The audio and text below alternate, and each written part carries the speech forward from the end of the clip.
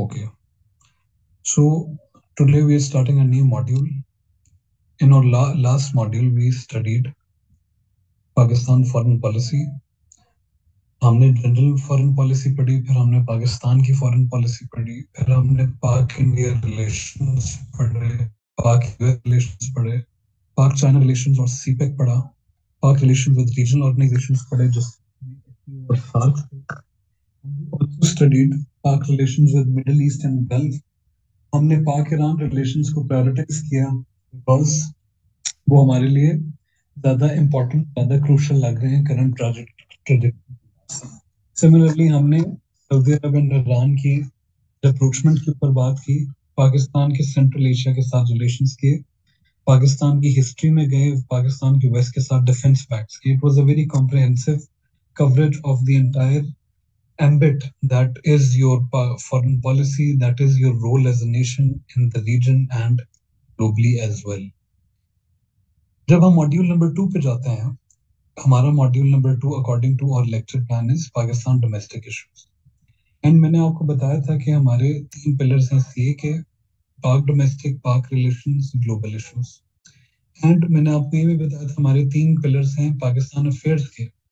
That is pre-1947 Pak relations and Pak domestic you will see कि इसके अंदर पाक डोमेस्टिक जो है Pak domestic is also found in current affairs as well so this is one of those pillars that completely overlaps with between the two subjects today our focus of study is pakistan constitutional history and pak issues And जो मैंने इसके आपको lecture plan में explainer दिया था कि इसके अंदर होगा क्या, उसमें था की कॉन्स्टिट्यूशनल उसमें था हम थोड़ा रोल ऑफ़ जुडिशरी पे नज़र डालेंगे, हम फेडरलिज्म पे की बात करेंगे। एंड ऑब्वियसली जब आप फेडरलिज्म की बात करते हैं तो आप उसी वक्त you come and you talk about 18th amendment if you're talking about federalism in Pakistan and हम सेंट्रल प्रोविंस रिलेशंस पर भी थोड़ी तबसर करेंगे, थोड़ी थोड़ी बात उसके ऊपर भी करेंगे। गिव यू कॉन्टेक्स्ट जो पाकिस्तान का कॉन्स्टिट्यूशन डेवलपमेंट है, मैं आपको ऑलरेडी बता चुका हूँ कि इसकी मार्क्स वैल्यू या आपके पेपर के लिहाज से जो वैल्यू है, वो है लेट मी आपके पेपर के लिहाज से जो इसकी वैल्यू है, आपकी चार्ट मेरे से एक मिनट वो हो गई है। चलो आप is now in front of me अच्छा जी। वो इन दो सवालों में आप देख सकते हैं। Pillar three of Pakistan affairs constitutional development issues and relation एक सवाल आया था half hour nature of central province relation change under the amendments in 1973 constitution फिर एक था discuss federal structure of 1973 constitution after 18th amendment तो you see के आपका ज़्यादा एम्फेसिस था फेडरेशन के ऊपर एंड आपका ज़्यादा एम्फेसिस था 18th अमेंडमेंट के ऊपर। In terms of what the examiner asked. And similarly अगर आप देखें कि पाकिस्तान के डोमेस्टिक अफेयर्स जो हमसे करंट अफेयर्स में पूछे गए हैं, उसके अंदर हमें इंटर प्रोविंशियल रिलेशंस के ऊपर बात हुई है कि भाई न्यू प्रोविंस की भी बात हुई है एंड जो करंट एग्जिस्टिंग प्रोविंसेस हैं, उनकी आपस में इंटर प्रोविंशियल रिलेशंस के ऊपर भी बात हुई है तो दिस शोज़ हमारा एम्बिट ऑफ़ क्वेश्चंस क्या है इसके अलावा inshallah when you all clear your written part so the pakistan's constitutional history is and pakistan's constitution is a very important part of your interview preparation as well. And similarly if you are also preparing other subjects like political science or you're preparing constitutional law so this lecture also input specifically in political science section b which is almost completely right from the constitutional aspect of Pakistan affairs. So this shows why you should be attentive to this lecture and why you should focus on this. Sequence क्या होगा हम पाक पाकिस्तान की constitutional history को थोड़ा dissect करेंगे फिर हम पाकिस्तान के इंपॉर्टेंट कॉन्स्टिट्यूशनल डॉक्यूमेंट्स हैं उनका एक ओवरव्यू लेंगे रोल ऑफ़ जुडिशरी का ओवरव्यू लेंगे कुछ की केसेस हैं उनको देखेंगे जुडिशरी डॉक्ट्रिन्स के ऊपर कुछ फैसले किए उनको देखेंगे कॉन्स्टिट्यूशनल इनपुट को देखेंगे फेडरलिज्म पे बात करेंगे सेंट्रल प्रोविंस रिलेशंस पे बात करेंगे and as you can see कि जो हमारा एम्बिट ऑफ़ डिस्कशन है वो काफ़ी ब्रॉड है तो I will be teaching you from different resources and I will be showing you different ways of tackling it. जो 18th amendment है and जो आप हमारे constitution का comparison उसमें मैं आपको अपना mark भी reference करूँगा मोहम्मद अब्दुल वासी you're never happy with anything so आपकी complaint को मैं register भी नहीं करूँगा जब तक कोई बाकी बंदा complain नहीं करेगा ना so I will not register your complaint this is not me being rude to you me trying to be funny so Pakistan constitutional history if you divide your constitutional history, so hai issue. Okay, let me now switch internets because it's gone on for too long.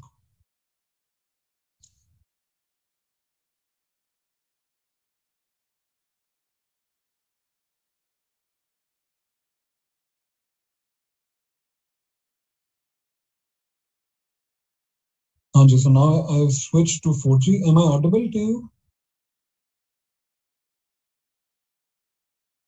Now, now is it good?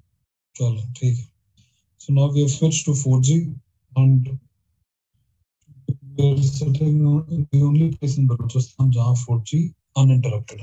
So that is quite a cantonment if you do not get the joke.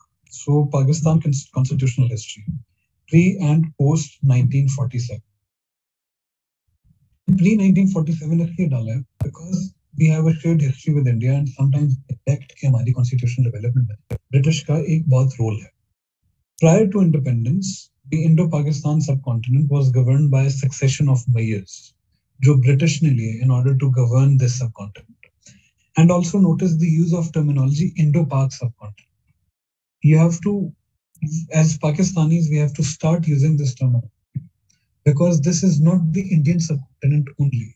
We have to start coming out of this identity कि जो हमें overshadow किया हुआ है India ने हर सूरत में कि we are consider Pakistan का है इंडिया के साथ we have to start coming out of it and उसके अंदर languages language is a big vehicle. So the Indo-Pak subcontinent was governed by a succession of mayors, जिसको हम कहते हैं Government of India Acts. Government of India act 1773 से लेके 1935 तक रही और इसके अंदर मजीद एक डिवीज़न है, जो 1773 से लेके up until the war of independence या जिसको यूटनी कहते हैं ब्रिटिशर्स 1858 के अंदर, तब तक हमारे ऊपर ईस्ट इंडिया कंपनी थी। सो उन सारी एक्ट हम कहते हैं East India company act not need to the but 1858 के बाद हम प्रॉपर एक क्राउन प्रिंसिपैलिटी हम एक प्रॉपर क्राउन डोमिनियन बन गए। तो उसके बाद जो एक्ट्स आई, उनको हम कहते हैं गवर्नमेंट ऑफ़ इंडिया एक्ट्स ये 1833 53 government of India act 1833 government of India act 1853 government of India act 1858 फिर 1909 में मिंटो मॉडल रिफॉर्म्स आते हैं after the Shimla deputation meets the viceroy of that time in Shimla and वो कहते हैं कि भाई मुस्लिम्स की ये डिमांड्स हैं, जहाँ से ऑल इंडिया मुस्लिम लीग भी आती है। And Minto Morley reforms are sympathetic to Muslim demands separate electorate की बातें आ रही हैं। मुस्लिम को माइनॉरिटी सेफ़ गार्ड्स की बात फिर गवर्नमेंट ऑफ़ इंडिया एक्ट 1919 आता है, जिसको मॉन्टे कैम्सफोर्ड रिफॉर्म्स भी कहते हैं।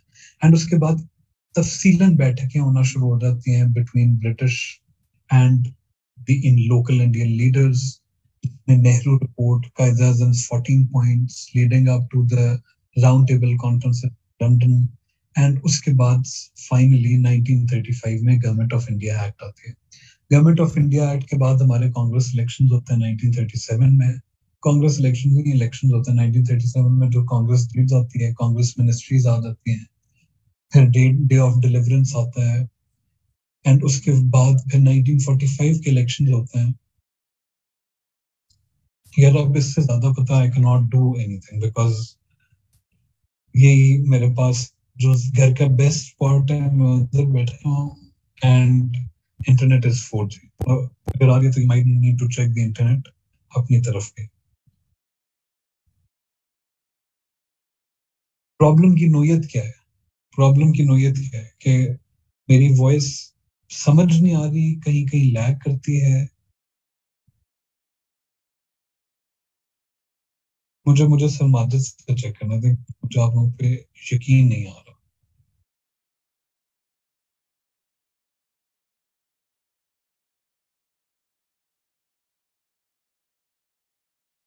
तो आप ऊँचा बोल सकते हैं, ठीक है, मैं थोड़ा और ऊँचा भी बोल देता हूँ आपके लिए, मैं इसको थोड़ा और वो कर check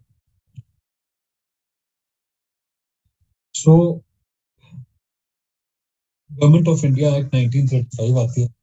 एंड उसके बाद फिर 1945 में इलेक्शंस होते हैं। इलेक्शंस के बाद 40 हमारी जो मुस्लिम लीग है, अच्छी परफॉर्म करती है। 46 के अंदर थर्ड जून प्लान और ये वाली सारी चीज़ों का अब लीडअप बन रहा है बिल्डअप बन रहा है। 47 में यू सी के आपको इंडिपेंडेंस मिल जाती है। एंड जब 47 में आपको इंडिपेंडेंस मिलती है you do not have a constitution तो सबसे पहला काम ये होता है कि ट्वेल्थ अगस्त 1947 को पाकिस्तान कॉन्स्टिट्यूंट असेंबली अपने पहले सेशन में बैठती है। First session of Pakistan constituent takes place under the leadership और the presidency of Quaid Azam Mohammad Ali Jinnah fourteen को आपको अपनी इंडिपेंडेंस मिलती and you adopt Indian Independence Act 1947 जिसके तहत इंडिपेंडेंस मिल रही है along with amended Government of India Act 1935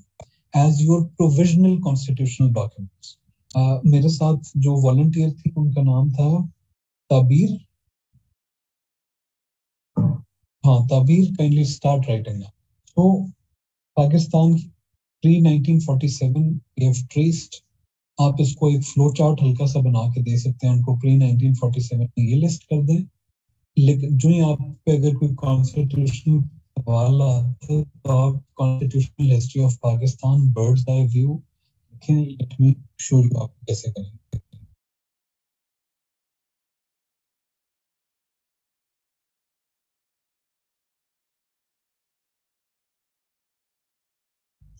जब आप देखेंगे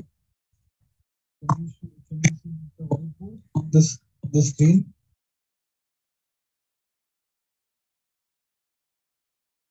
Okay.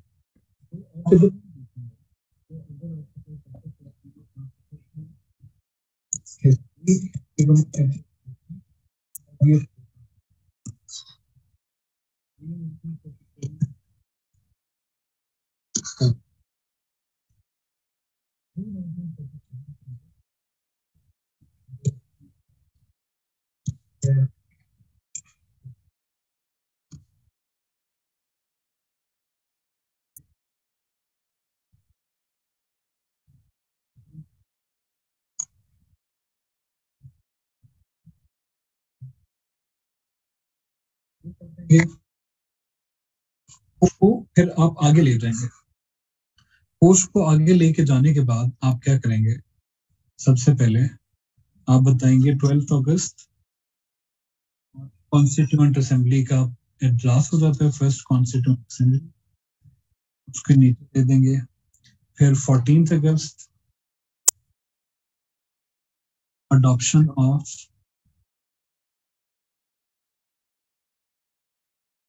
Government of India Act 1935 plus Indian Independence Act IIA 1947 as provisional document. Sabir kindly write adoption of Government of India Act 1935 plus Indian Independence Act 1947 as provisional constitutional document. इसके बाद अगला step क्या होता है twelfth March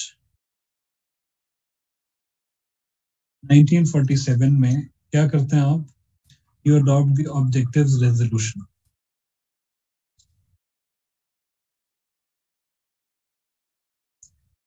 अभी आवाज़ clear आ रही है या अभी भी डिस्टॉर्शन आ रही है?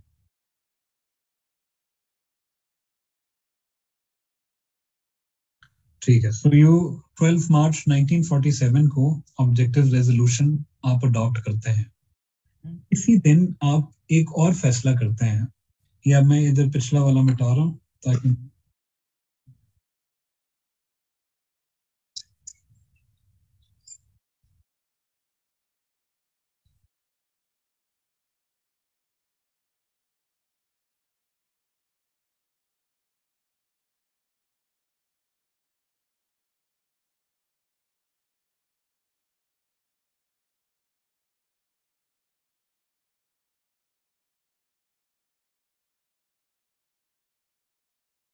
1949 you're right Gaul 1949 और इसी दिन फिर आप क्या करते हैं? कि फ़ौरन बाद आप एक principles committee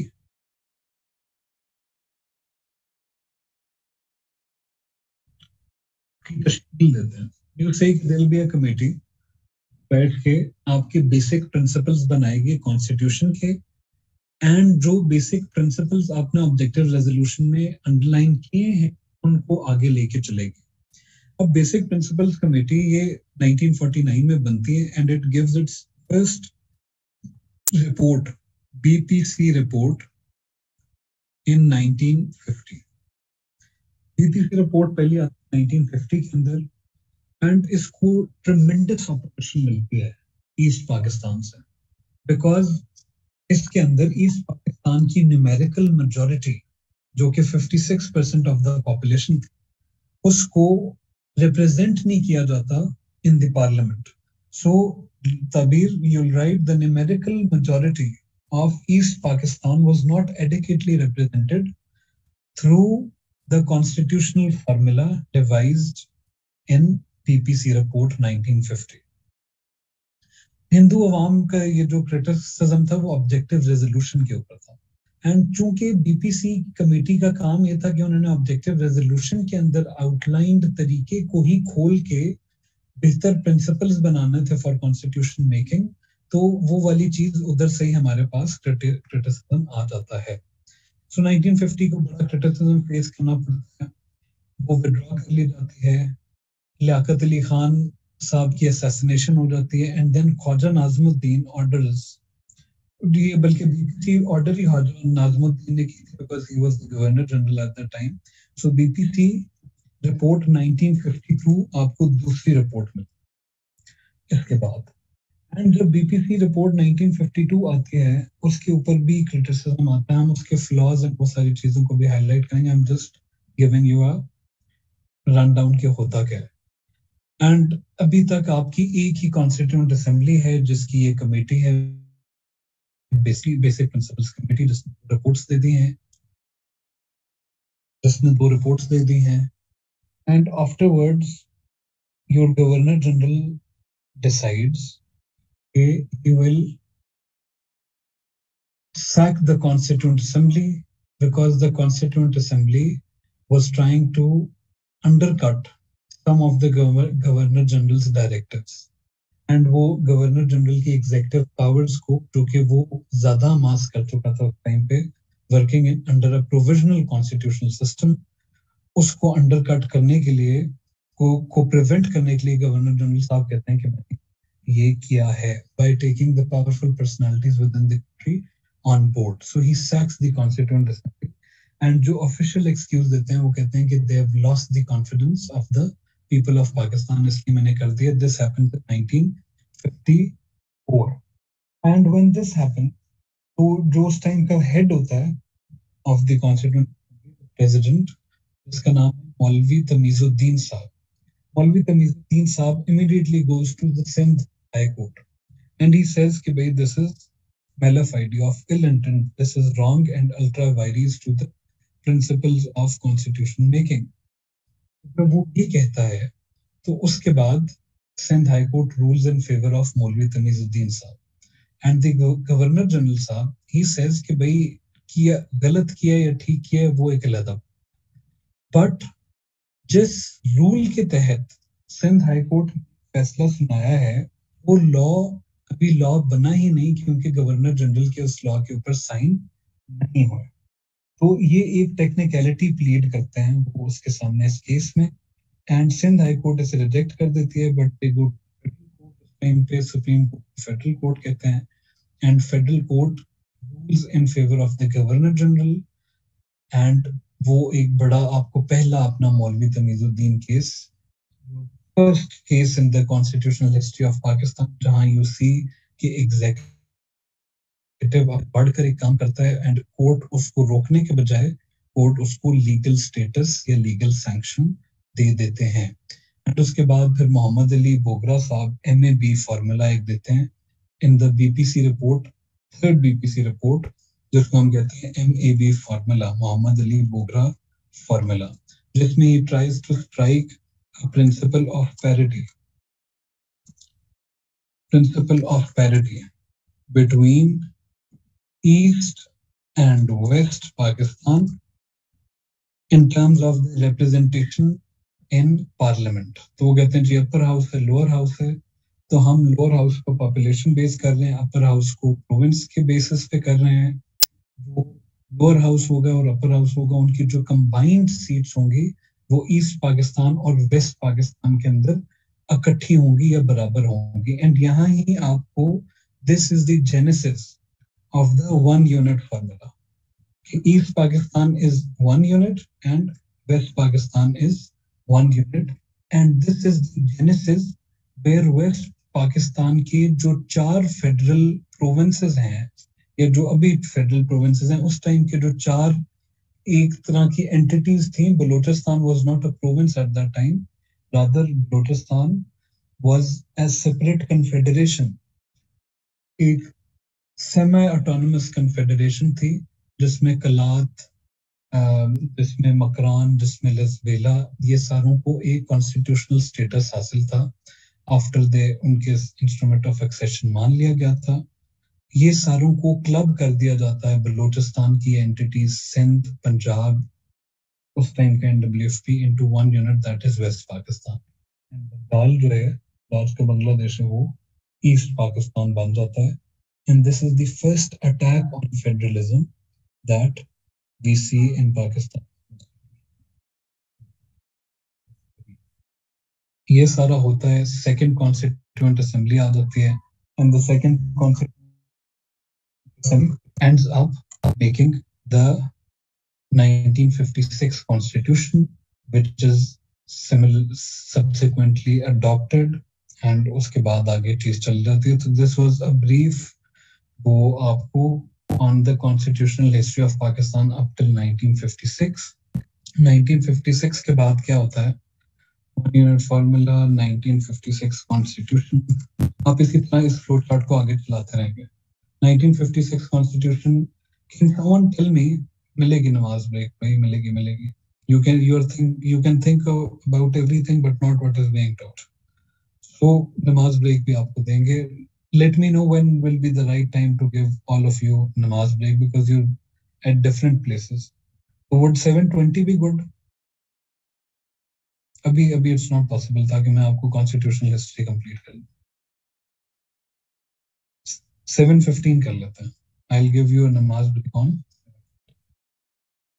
seven fifteen would be okay 1956 constitution मुझे ये बताया uh, give then 1956 constitution adopted.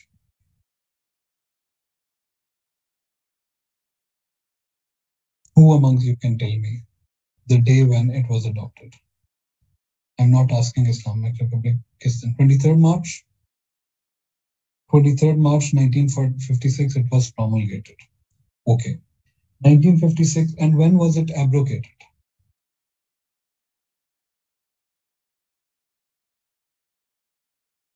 Eighth October eighth October 1958 दो साल ये चली थी। And within these two years ये एब्रोगेट क्यों हो गए? Because within these two years that the 1956 constitution was in place Pakistan saw change of four governments in the चार मुख्तलिफ़ वज़ीर आज़म आए and there was a sense of political instability and इस resultant political instability compelled General Skandar Mirza, then president of Pakistan, to declare martial law and to invite the chief martial law administrator at that time, Air Marshal General Ayub Khan, to come and हुकूमत को संभालने के लिए उन्होंने invite कर लिया and that was your first martial law इसलिए इसको कू नहीं कह सकते because general Ayub did not या कू कह भी सकते हैं but he was invited into coming into power in 1958 subsequently उन्होंने एक कमेटी बनाई। सो 1956 कॉन्स्टिट्यूशन हो गई थर्ड मार्च को एब्रोकेटेड एट्थ अक्टूबर 1958 हाँ पीसफुल को एक आता पीसफुल नहीं, आ एन एग्जीक्यूटिव को बिकॉज़ आपका हाईएस्ट एग्जीक्यूटिव ऑफ़िस ने ये किया and then a committee was formed under justice Shahabuddin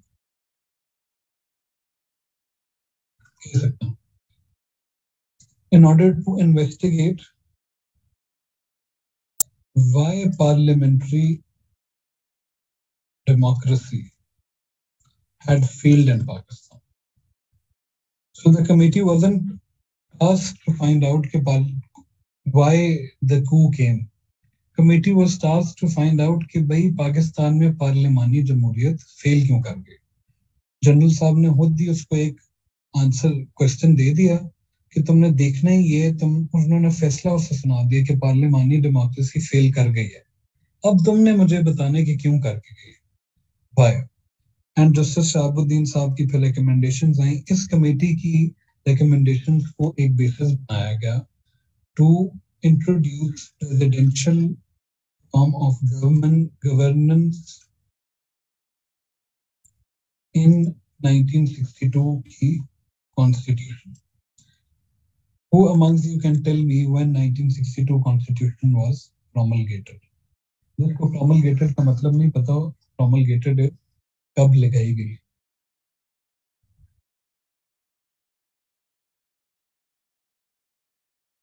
और से पूछ रहे हैं मुझे बता रहे anyone else 8 जून 1962 8 जून 1962 को presidential form of governance 1962 constitution के तहत आपको मिलती है। ये कॉन्स्टिट्यूशन चलती रहती है up until 1969 when General Yahya Khan ironically आते हैं was the martial law administrator, and वो आके martial law लगा देते हैं। And अब वो कहते हैं कि मैं इलेक्शंस कराऊँगा, इंशाल्लाह जल्दी। लेकिन वो इलेक्शन डिले हो जाता है 1970 में जाके आपको अपने पहले इलेक्शन होते हैं, जो कि अब आपको समझाए कि the first election in a democracy that you were able to conduct on a national level were conducted in 1970 some 23 years after your birth as a democratic, as the Islam Democratic Islamic Republic of Pakistan. So 1970 के election होते हैं डायरोनिकली obviously अब आपकी exercise तो होती नहीं है elections के अंदर। आपको नहीं पता इलेक्शंस फ्री एंड फेयर कैसे होंगे। एंड उन इलेक्शन अगर आप हार जाए इसका रिज़ल्ट आपने कैसे एक्सेप्ट करना है? एंड आपकी आइडियोलॉजिकल एथनिक फॉल्ट लाइंस हैं मुल्क के अंदर। Geographical fault lines east Pakistan west Pakistan से दूर है। ईस्ट पाकिस्तान में अवामी पार्टी जीतती है। वेस्ट पाकिस्तान में भुट्टो साहब जीतते हैं। भुट्टो साहब कहते हैं कि जो बंदा उधर जाके उसने सेशन अटेंड किया, मैं उसकी टांगे तोड़ दूँगा। General Yahya Khan does not understand the gravity of and करते करते फॉल ऑफ़ ढाका हो जाता है। East Pakistan goes away Pakistan west Pakistan रह गए अब फिर पाकिस्तान गोज के मिर्जी अब तो एक और नई कॉन्स्टिट्यूशन बनानी पड़ेगी हमें। We have to come out of 1972 में एक प्रोविजनल कॉन्स्टिट्यूशनल ऑर्डर आता है। बिल्कुल आई विल प्रोविजनल कॉन्स्टिट्यूशनल और एक ऑर्डर एक प्रोविजनल कॉन्स्टिट्यूशन डालते हैं आप 1972 में जिसको आप अडॉप्ट कर लेते हैं for the temporary running of the country and आप कॉन्स्टिट्यूशन मेकिंग की तरफ़ लग पड़ते हैं from what remains of west Pakistan people who were elected in West Pakistan. And अब इसमें इशू ये आता है कि भुट्टो साहब has won from Punjab and Sindh, but Balochistan and KPK या उस टाइम का NWFP has been won by an alliance जिसकी हेड पे एनएपी होती है national Awami party and NAP के इनके चीफ मिनिस्टर्स इधर के एनएपी के आते हैं भुट्टो साहब के तौर में अब एनएपी वाले जो हैं उनको डर ये होता है कि पंजाब भुट्टो साहब ने जीत लिया है तो फेडरल हुकूमत तो इनकी है बट जो कॉन्स्टिट्यूशन बने वो ऐसी बने कि वो प्रोविंशियल ऑटोनॉमी को गारंटी करे हमारी हुकूमत है हम वहाँ खुल के अपने आराम से हुकूमत कर सके एंड वो ये कहते हैं कि इस मुल्क में स्टार्ट से फेडरलिज्म पर एक अटैक पे अटैक होता रहा है पहले वन यूनिट स्कीम के तहत उसके बाद फिर ये मार्शल लॉ के अंदर आपने जब सेंट्रलाइज गवर्नमेंट कर दी थ्रू लोकल गवर्नमेंट सिस्टम को बिलाल कह रहे हैं basic democracy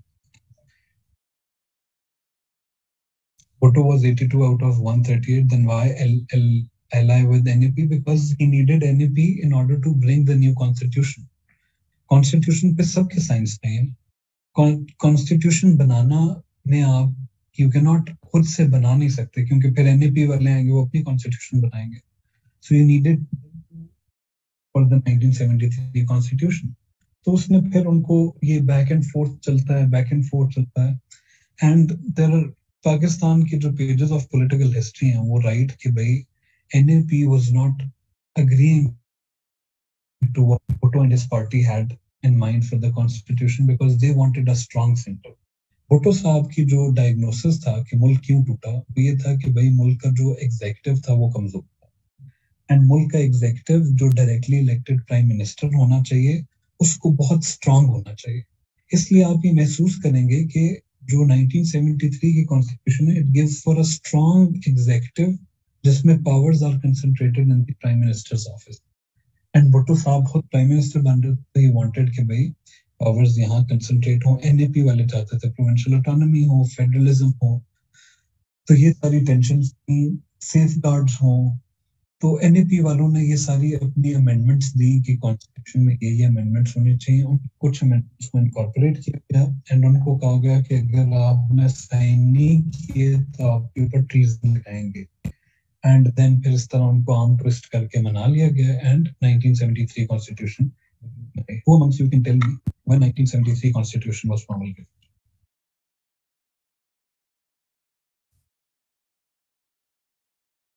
So,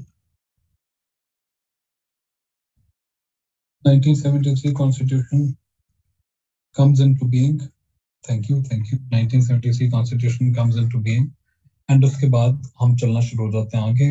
and fast forward अभी पाँच साल ही चलते हैं 1979 में फिर से कूल आ जाता है फिर से कॉन्स्टिट्यूशन जो आपने अभी बनाई है जवाल हक साहब आते हैं एंड वो आके कहते हैं कि भाई जिस लेकिन वो ये करते हैं कि इस दफ़ा अयूब खान कितना वो ये नहीं आके कहते कि why this constitution has failed फलानी जस्टिस उठो, एक रिपोर्ट लिखो, मुझे बताओ क्यों फेल हुआ है ताकि मैं उसके बुनियाद पे एक प्रेसिडेंशियल फॉर्म ऑफ़ हुकूमत because dictators can serve better in presidential form of governance उनको सूट करती है। बट वो इतना करते हैं, वो इतना रहम करते हैं हम पे कि वो कहते हैं कि अच्छा जी, ये कॉन्स्टिट्यूशन कुछ सालों के लिए इन इफ़ेक्ट नहीं होगी। This will be held in abeyance जो वो लफ्ज इसके लिए यूज़ करते हैं, वो है हेल्ड इन अबेंस हेल्ड इन अबेंस तो 1985 तक इट्स हेल्ड इन अबेंस फिर पहले इलेक्शंस होते हैं, वो कहते हैं जी नॉन पार्टी बेसिस पे जयाउल हक साहब केम एंड ही सेड कि 40 दिन के अंदर अंदर हम इलेक्शन कराएँगे। Ziaul Haq sahab left after a period of ये 11 इयर्स 144 डेज़ सो 40 दिन बढ़ते बढ़ते 11 साल 144 दिन बन जाते हैं। इस दौरान 1985 में वो करा नॉन पार्टी बेसिस पे इलेक्शन कराते हैं एंड देन जुनेद जो हुकूमत आ जाती है नवाज़ शरीफ की जेनेसिस होती है नवाज़ शरीफ साहब emerges as the CM of Punjab, first as the financial minister of Punjab, then as the chief minister of Punjab, and then as a forward block within the party against Junaid Saab when Junaid Saab falls out with Ziaul Haq. ये चले जाते हैं फिर election होते हैं मोहतरमा वापस आती है 1973 कॉन्स्टिट्यूशन बहाल हो जाती है बट जो जयाउल हक के टाइम के ऊपर 1973 कॉन्स्टिट्यूशन में एक अमेंडमेंट की जाती है, जो कॉन्स्टिट्यूशन का कैरेक्टर मुकम्मल तौर पर चेंज कर देती है। उस अमेंडमेंट का नाम था एट्थ अमेंडमेंट द कॉन्स्टिट्यूशन बस जा रहे हैं, जा रहे हैं जमशा एंड वासिद जा रहे हैं। मैं फिर से आपको ये पूरी थॉट ट्रेन ट्रेस कराऊँगा तो हमारा टाइम जाया होगा। Just give me two minutes semi presidential government आ जाती है। एट्थ अमेंडमेंट के साथ, क्योंकि उसमें प्राइम मिनिस्टर के ऑफ़िस को वीक कर दिया जाता है प्रेसिडेंट के ऑफ़िस को एम्पावर किया जाता है। Article such as 58 to be are introduced, जिसमें सादिक और अमीन एंड इस तरह के इंस्ट्रूमेंट डाले जाते हैं order to disqualify politicians and to disqualify prime ministers पूरी जो मेकअप है कॉन्स्टिट्यूशन का, उसके अंदर फेडरलिज्म और नीचे चला जाता है। एंड आपकी जो एग्जीक्यूटिव है, वो semi presidential form of governance बन जाती है। भुट्टो साहब वापस आती हैं she tries to reverse it but वो मुकम्मल रिवर्स नहीं कर पाती। उसका कैरेक्टर अभी भी इसी तरह का मिक्स्ड कैरेक्टर चल रहा जिसमें प्रेसिडेंट नॉट जस्ट स्टेट बल्कि उसके पास कुछ लिमिटेड पावर्स हैं एंड उनमें से एक बड़ी इंपॉर्टेंट पावर है to dismiss an elected government entirely and dissolve assemblies on his own without the advice of the prime minister और यही होता है अगले दस सालों में, दो दफ़ा। इसमें प्रेसिडेंट एक दफ़ा भुट्टो साहब, साहिबा की हुकूमत को डिसमिस करते हैं, फिर एक दफ़ा नवाज़ शरीफ साहब साहब की हुकूमत डिसमिस करते हैं। वो चैलेंज होती है सुप्रीम कोर्ट में हुकूमत बहाल हो जाती है। देन ये वाली सारी गेम चलती रहती है। नवाज़ शरीफ साहब आते हैं 97 में, वो आके थर्टीन अमेंडमेंट कर देते हैं। दी थर्टीन नहीं करते सॉरी वो आके अमेंड करते हैं कॉन्स्टिट्यूशन को टू रिपील बल्कि नहीं थर्टीन ही अमेंडमेंट करते हैं. To repeal the president's right to dismiss the elected governments and अभी ये सारी चीज़ें चल रही होती हैं तो अचानक 1999 में दोबारा कूल एंड मुशरफ साहब आके फिर से आप कोई कहते हैं कि भाई हम कॉन्स्टिट्यूशन खत्म नहीं कर रहे, हम सिर्फ़ कॉन्स्टिट्यूशन को अबेंस में रखेंगे। फ़िलहाल इसको टेम्परेली सस्पेंड कर रहे हैं। उन वो चैलेंज होता है सुप्रीम कोर्ट में सुप्रीम कोर्ट फिर उनको करने देता है। एंड देन लेकिन वो कहते हैं सिर्फ़ तीन साल के लिए आप कर सकते सो so, वो तीन साल के लिए एक प्रोविजनल कॉन्स्टिट्यूशनल ऑर्डर आता है पीसीओ जिसे हम कहते हैं। 2002 में तीन साल एंड हो जाते हैं तो फिर उनको इलेक्शन कराते हैं अपनी एक किंग्स पार्टी बना के जिसका नाम है पाकिस्तान लोग नवाज़ शरीफ की सपोर्ट नवाज़ शरीफ जब निकाला गया तो जो जो लोग आर्मी के साथ चले गए, वो पाकिस्तान मुस्लिम लीग कैद में आते हैं P M L Q then remains in power with president Musharraf up until 2007 2008 when Musharraf चले जाते हैं। एंड बिल्कुल I elaborate difference between legal framework order of शाहजा and Musharraf तो PP PMLN did amend this ना PMLN did, मैं आपको बताया, by an amendment, PMLN took this power away from the president. वो टू थर्ड मेजोरिटी के साथ था he cannot dissolve the assembly directly without the advice of the prime minister. हो गई थी and it is still in your constitution कि आप वो नहीं कर सकते बट वो it was too little too late ना एक दफ़ा दोनों को वो झटका लगा तो फिर उसके बाद उन्होंने किया एक दफ़ा पीपीपी को लगा तो नवाज़ शरीफ साहब खुश हुए फिर पीएमएलएन को लगा तो ऑब्वियसली उसके बाद जाके ये सीखे। हमारी politics has always caught up हम गलत तजुर्बे करते हैं, फिर उनसे सीखते हैं। हमें इतनी विजन नहीं है कि हम तजुर्बे कर ही ना सकते एंड लास्टली 2008 के अंदर एटीन अमेंडमेंट आ जाती है। व्हेन जरदारी साहब की हुकूमत आती है 2008 में नहीं सॉरी 2009 में। 2009 2010 के अंदर एग्जैक्ट डेट है इसकी 12 अप्रैल। उसके और eighteen amendment is signed into 2010 12 April 2010 eighteen amendment is signed into the constitution जो कोशिश ये करती है कि वो जितनी भी ये 1973 के कॉन्स्टिट्यूशन के बाद उसके साथ चेंजेस हुई हैं, जिसने उन्हें सेमी प्रेसिडेंशियल बनाया जो जो भी उसके अंदर डिस्ट्रॉक्शन आई हैं, उसको इस तरह रिहेबिलिटेट करे कि वो कॉन्स्टिट्यूशन का फेडरल स्ट्रक्चर स्ट्रॉन्ग करे। So that is why 18th amendment is very crucial in your constitution and political history उसके बाद वाली हिस्ट्री आपके सामने है आप लोग ने देखी है जब आप लोग वापस आते हैं फिर हम कॉन्स्टिट्यूशनल इश्यूज़ की तरफ़ जाएँगे एटीन अमेंडमेंट की तरफ़ जाएँगे मैं आपको अपना मार्क भी दिखाऊँगा उसमें ताकि भी डायसेक्ट एटीन अमेंडमेंट इस तरीके से कि आप उसे क्वेश्चन में and then move forward with the lecture. You can have a break of would 10 minutes be okay? 10 minutes break for your for your namaz prayer. See you back.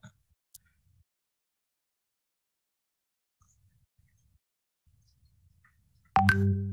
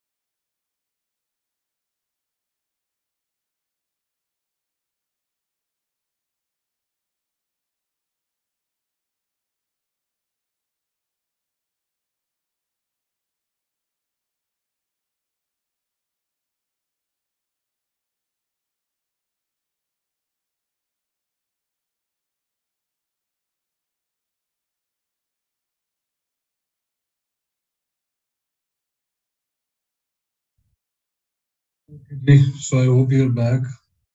We have completed our 10 minutes. Now we'll move forward. We have traced the constitu constitutional and somewhat political history of Pakistan. We'll move forward and हम कुछ एक दो important documents हैं जिनको documents के लिहाज से dissect करेंगे सबसे पहले जो आपके लिए important है वो है objective resolution objective resolution and tabir now आपका काम आ गया you have keep, keep on writing it objective resolution of Pakistan is considered the first landmark constitutional document in Pakistan's constitutional history ये आप इसके इंट्रोडक्शन में लिखेंगे जब आप इसके इंट्रोडक्शन लिखते हैं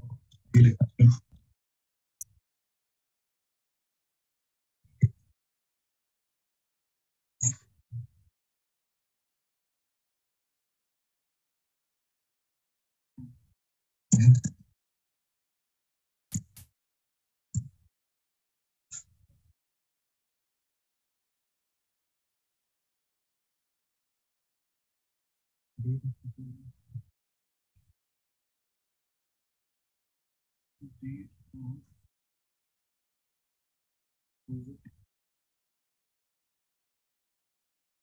of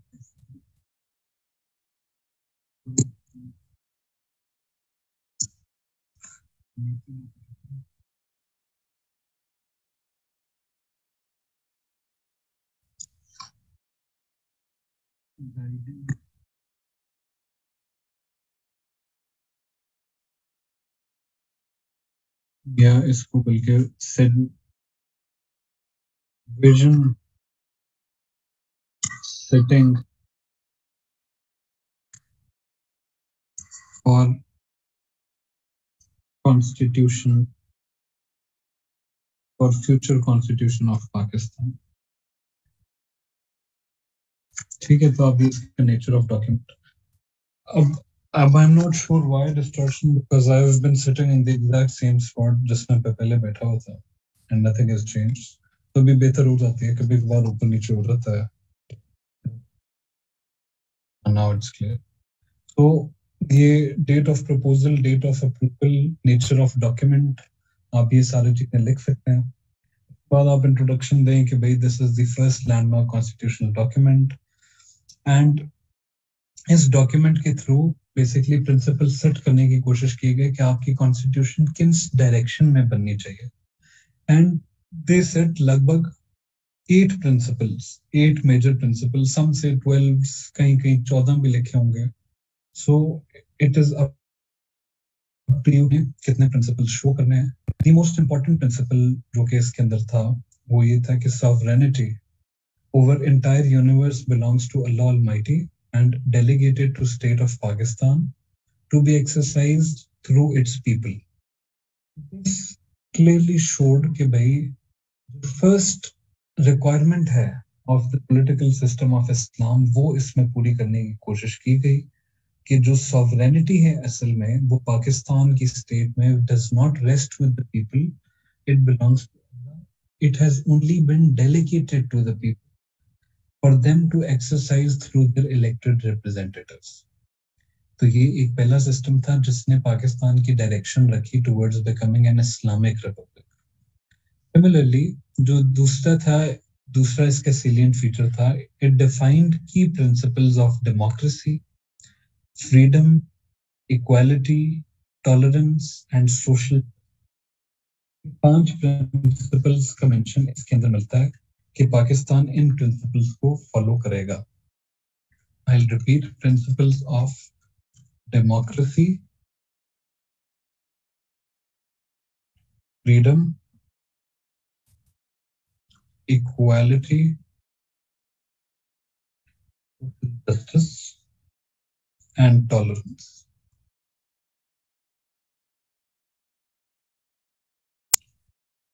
But इसके अंदर वो एक कैच आता है एंड कैच ये आता है कि वो लिखते हैं एज इनसिएटेड बाय इस्लाम कि ये प्रिंसिपल्स की जो डेफिनेशन इस्लाम ने दी है, उनको अचीव करना हमारी स्टेट का काम है एंड फिर एक तीसरा प्रिंसिपल इसके अंदर आता है जिसके अंदर ये लैंग्वेज लिखी जाती है where in Muslims shall be enabled to follow to follow their religion. Muslims shall be enabled to go to the of worship, follow their religions, and live their lives in accordance with Islam.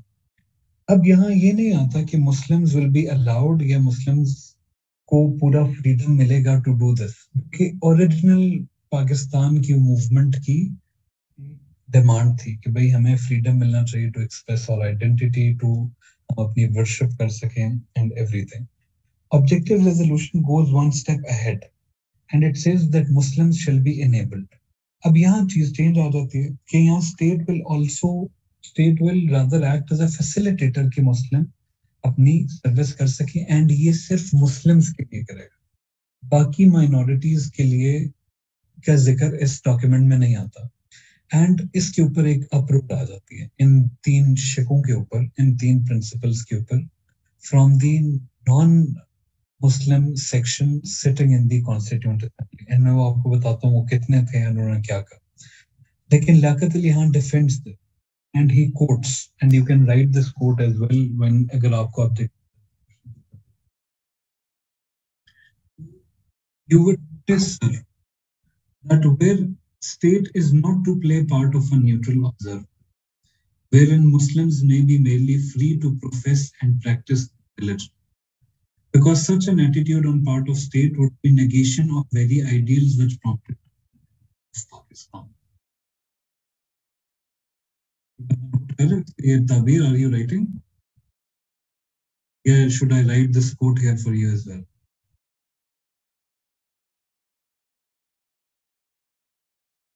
Abir, yes, you are.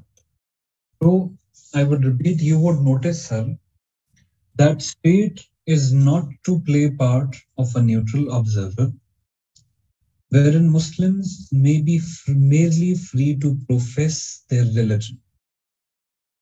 Because such an attitude on part of the state would be the negation of very ideals which prompted demand of Liaquat Ali Khan says state में neutral observer नहीं रहना अब this is something that the non-Muslim members and इसके अंदर आपने दो बड़े नाम है जिनकी क्रिटिक लाजमी लिखनी है अगर ऑब्जेक्टिव रेजोल्यूशन पे क्वेश्चन आता है एंड वो है प्रेम री करना and D Chandra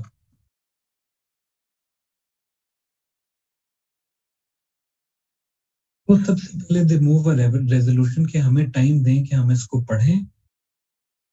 They move a resolution in the constituent assembly give us time to study this resolution and उसके बाद फिर इसके ऊपर अगली बैठक करते हैं which is defeated in the resolution तो कहते नहीं जी कोई स्टडी स्टूडी नहीं अभी इधर जो बात करनी करना then Sri Chandra questions the need for an objective resolution while also questioning the religious bias of the resolution कि जो रेजोल्यूशन की ज़रूरत क्या है बाय ऑब्जेक्टिव रेजोल्यूशन ये क्यों बनाई जा रही है can not be straight go straight to the constitution या कॉन्स्टिट्यूशन मेकिंग एक्सरसाइज एंड अगर इसे बनाया जा रहा है तो इसमें इतना स्ट्रॉन्ग रिलीजियस बायस क्यों है? एंड ये दोनों बन जो इंडिविजुअल्स हैं हरी Banna and Chandra sahab they give some 17 major amendments to the resolution जिसके अंदर वो कहते हैं कि they try to enhance focus on democratic principle they try to consolidate legislative and executive power of the representatives.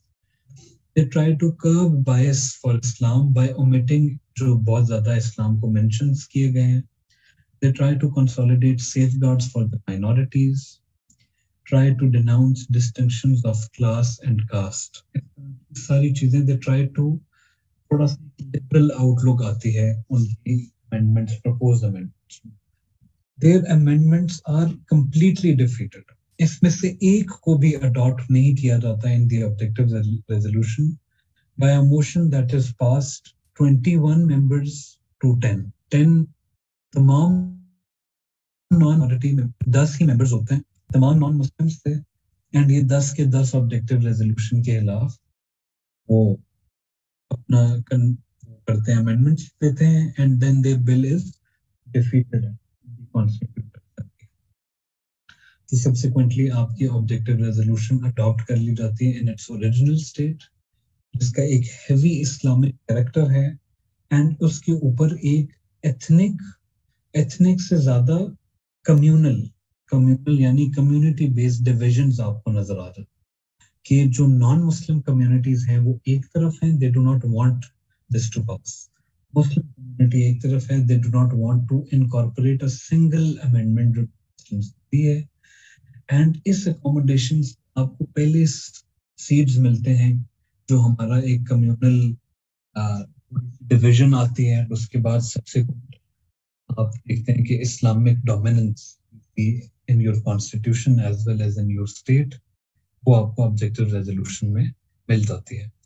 अब मैंने आपको ये ऑब्जेक्टिव रेजोल्यूशन क्रिटिकली पढ़ाई है। I do not try to teach you कि इसके अंदर है क्या क्या वो मुझे पता है कि आप बचपन से पढ़ते आ रहे हैं। एंड इफ़ यू वांट तो आप उसको दोबारा पढ़ सकते हैं। मैंने जो आप तीन स्पेसिफिकें बताई हैं ड्यू टू टाइम कंस्ट्रेंट्स वो वो बताइए जिनके through you can develop a critical analysis on objective resolution कि was it a success failure and if it comes can give a setting separate heading के इसके अंदर कि ये क्रिटिकल एनालिसिस थे। इस्लाम के हैवी कैरेक्टर की वजह से ये ये हुआ। And in your way forward you can give excuse me for a minute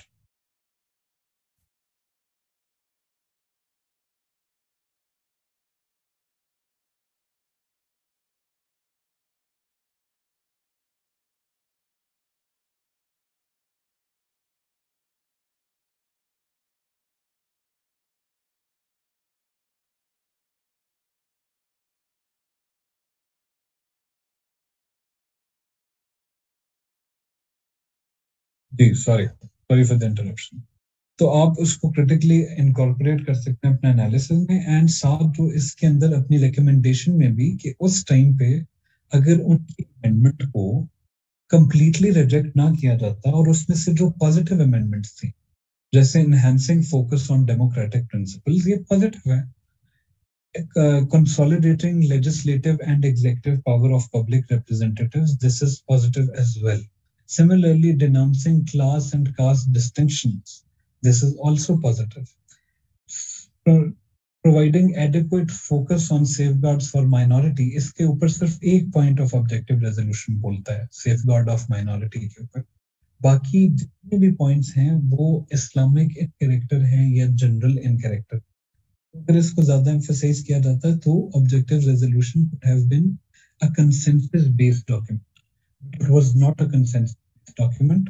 Rather वो इसके अंदर आपको एक कम्युनल डिवीज़न नज़र आती है स्टार्ट में तो you can write this in your critical analysis of objective resolution खैर ये एनालिसिस साइट पे it is a landmark constitution document क्योंकि सिमिलरली इसको 1956 के प्रीएम्बल में इंक्लूड किया गया आगे प्रीएम्बल्स के अंदर भी डालते गए एंड 1973 के अंदर पहले it was a part of the preamble but then the con- through constitutional amendments it was made a part of the actual constitution itself so objective resolution is now very much part of your constitution ये इसकी legacy है so are we clear on objective resolution yeah do you feel that we need to discuss that मैं इधर से आगे चलूँ अब्दुल वासी किधर गया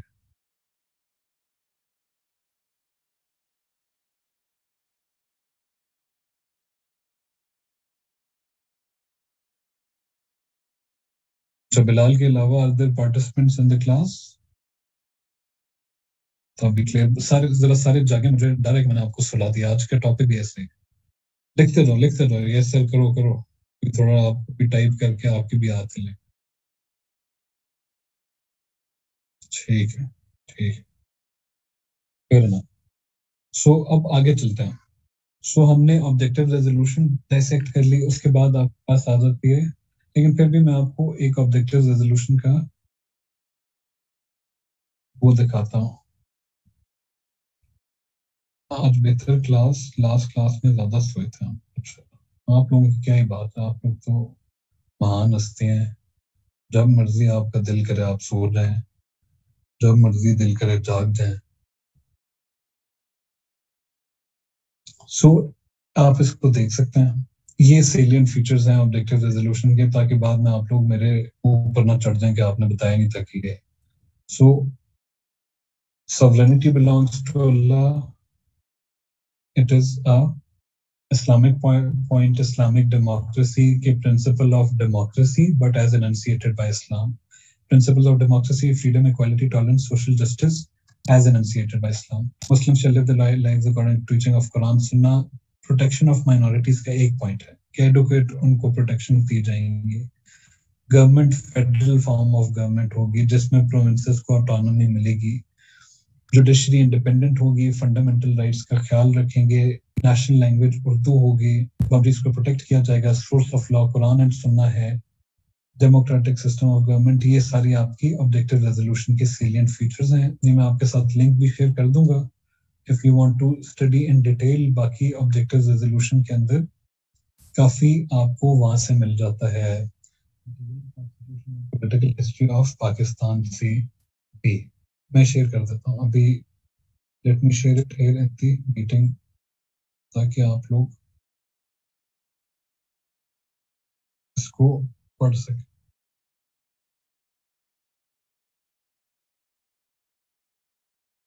ठीक हो गया। तो अभी हम आगे चलते हैं and we go to the comparison of constitution मैंने आपको बताया 56 है 62 है 73 मैंने सवाल देखे 62 की कॉन्स्टिट्यूशन को बहुत कम घास डाली जाती है इन टर्म्स ऑफ़ क्वेश्चनिंग सवाल अमूमन यही आता है कि आप 56 कर लें कंपेयर कर लें, या फिर अगर आ जाएगा बहुत and this is rare as well या आ जाएगा कि भाई आप पार्लियामेंट्री कॉन्स्टिट्यूशन को आपस में कंपेयर करें। जी सदरा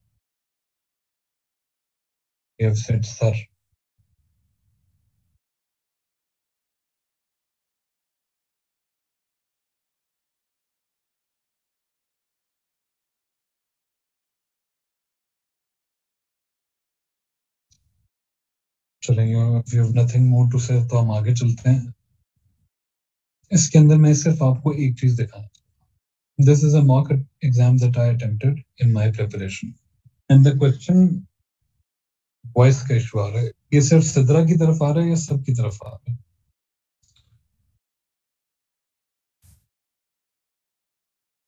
ठीक हो जाता सिद्रा परेशान नहीं होना ठीक हो जाता ये फिर आपकी तरफ़ है।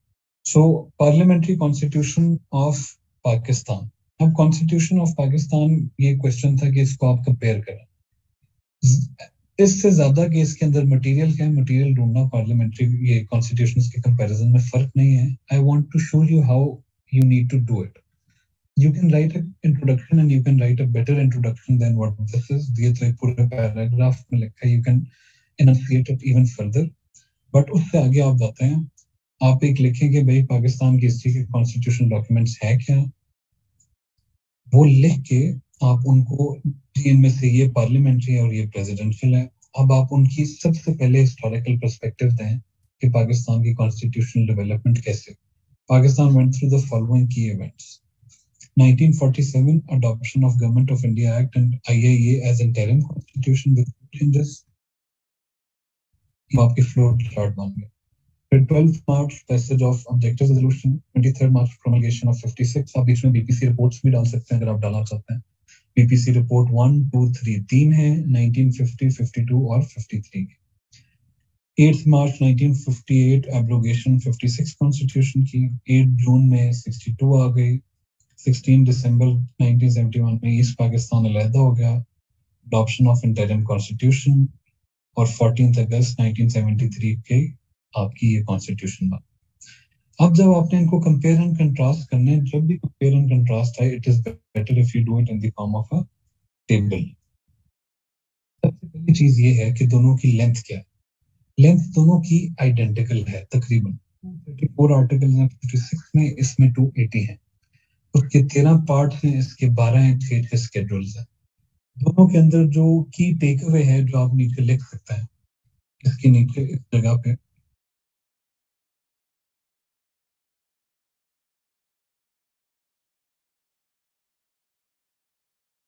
इधर आप करके लिख सकते हैं कि take away both constitution were lengthy इस तरह करके you can write something because that is your and you can write it after every वो आफ्टर एवरी पॉइंट बिकॉज़ अगर आप देखें तो पाकिस्तान की कॉन्स्टिट्यूशन जो है it is one of the most lengthiest constitution the entire world ठीक है? तो ये चीज़ आप अपने उसके एनालिसिस में भी दे सकते हैं। फिर दूसरा आ जाता है डेट ऑफ़ प्रोमलगेशन ये इस तारीख को आई इस तारीख को आई देन आ जाता है टेन्योर अब 56 की कॉन्स्टिट्यूशन का the first thing that stand out it इसका टेन्योर है, ये सिर्फ़ दो साल चली 73 का constitution is the longest serving constitution of Pakistan to date system of government इसके अंदर भी फेडरल पॉलिटी थी फेडरल पॉलिटी है कि यानी जिसमें प्रोविंसेस के अंदर और सेंटर के अंदर पावर डिवीज़न होगी एक रिटर्न कॉन्स्टिट्यूशन होगी जो पावर डिवाइड करेगी प्रोविंसेस और सेंटर में सेंटर के अपने सब्जेक्ट्स होंगे जिसके ऊपर उसका लॉ सुप्रीम कंसिडर करेगा और प्रोविंसेस के अपने सब्जेक्ट्स होंगे जिन पे उनका लॉ सुप्रीम कंसिडर किया जाएगा एक इंडिपेंडेंट जुडिशरी होगी जो दोनों के दरमियान को, के डिस्प्यूट्स को सेटल कर सकती है। सो so, ये एक फेडरल सिस्टम होता है। तो दोनों ने एक फेडरल सिस्टम के लिए प्रोविजंस दी हैं। फीचर्स ऑफ़ फेडरेशन जो फीचर्स क्या है? 56 में there is clear distribution of powers between centre and province with principle of decentralisation it is accepted जो इसमें है 18th amendment it has made devolution of power necessary इसने ना सिर्फ़ सेंटर और प्रोविंसेस के अंदर पावर डिवीज़न किए, इसने प्रोविंसेस के फर्दर लोकल गवर्नमेंट्स के अंदर भी पावर को के डेवोल्यूशन को नेसेसरी करार दिया है। बाय आर्टिकल 140 जो कहते हैं कि प्रोविंसेस लोकल गवर्नमेंट्स को पावर के एम्पावर करेंगी। तो अब अगर आपने नोटिस किया होगा अगर आप में कोई अकल है तो लेंथ ब्लू मार्कर से लिखा है date of promulgation blue marker से लिखा है टेन्योर ब्लू मार्कर से लिखा है system of government blue marker से features of federation blue marker legislation list black से वो इसलिए है टू शो कि ये features of federation system of government फला फला ये बड़ी कैटेगरीज है। अब जो लेजिस्लेशन लिस्ट है, ये फीचर्स ऑफ़ फेडरेशन के अंदर एक सब कैटेगरी है। आप इसको मजीद बेहतर कर सकते थे बाय यहाँ one two three four five आ रहा होता है ये पांचवा पॉइंट होता है features of federation and legislation list A होता बी होता सी होता, इस तरह करके आगे शुरू लेजिस्लेशन लिस्ट 56 में तीन थी, एक फेडरल थी, एक प्रोविंशियल थी और एक कंकरेंट थी। जो फेडरल लिस्ट में सब्जेक्ट थे, तकरीबन 97 थे, वो उनके ऊपर सिर्फ़ फेडरल हुकूमत लेजिस्लेट कर सकती। प्रोविंशियल के ऊपर सिर्फ़ और कंकरेंट जिनके ऊपर दोनों करेंगे। लेकिन जब दोनों करेंगे तो अगर दोनों ने एक ही चीज़ पे लॉ बना दिया और लॉ मुख्तलिफ़ है तो किसका लॉ फॉलो करें? 56 कहता था कि लॉ फॉलो होगा फेडरल का। फेडरल का लॉ फॉलो होगा जहाँ भी दोनों ने सेम के ऊपर किया है।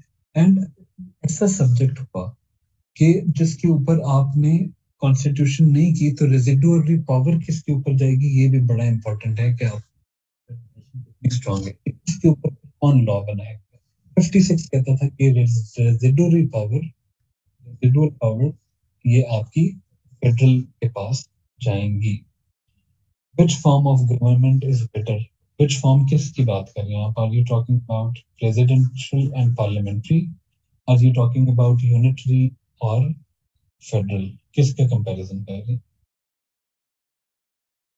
यूनिटरी एंड फेडरल का रेजिडेंशियल पाली वो हमारे अगले लेक्चर का स्कोप है। आप जाके लेक्चर प्लान देखेंगे। अंदर लिखा हुआ कि हमने अगले लेक्चर में ये बातें सारी करनी है। वो होंगी डोंट डोंट लेजिस्लेशन लिस्ट जो 73 में ओरिजिनली दो थी federal and concurrent and concurrent को अबॉलिश कर दिया गया under 18th amendment provincial list क्यों नहीं बनाई? जो भी सब्जेक्ट फेडरल के अंदर नहीं आ रहा, वो किसकी एम्बिट में है? वो प्रोविंस की एम्बिट में रेजिडुअल पावर ऑफ़ लेजिस्लेशन 73 में इनके पास है। प्रोविंसेस 56 में इंटर प्रोविंशियल डिस्प्यूट सेटल करने के लिए एक कमीशन बनाया गया, जिसका नाम था आईपीसी इंटर प्रोविंशियल कमीशन जबकि 73 के कॉन्स्टिट्यूशन में सेटल करने के लिए था council of common interest PCI article 148 के तहत गालबन बना है। आई नॉट श्योर कि हम इसे दोबारा कंफर्म करते हैं। एंड ये जो काउंसिल ऑफ़ कॉमन इंटरेस्ट है, ये इट स्टैंड्स टू डेट आपने अभी रिसेंटली एक खबरों में बहुत इसका बड़ा फैसला भी सुना होगा आर्टिकल 153 अगर ये है तो यू राइट मुझे आई एम नॉट श्योर मैंने फिर भी इसे कंफर्म सो इसका एक बहुत बड़ा फैसला आपने सुना होगा काउंसिल ऑफ़ कॉमन इंटरेस्ट का। कैन समवन टेल मी कि कौन सा प्रोमिनेंट फैसला किया है पिछले दिनों में सीसीआई ने? पिछले दो हफ्तों के दो हफ्तों के अंदर। चलो I give you a hint election से रिलेटेड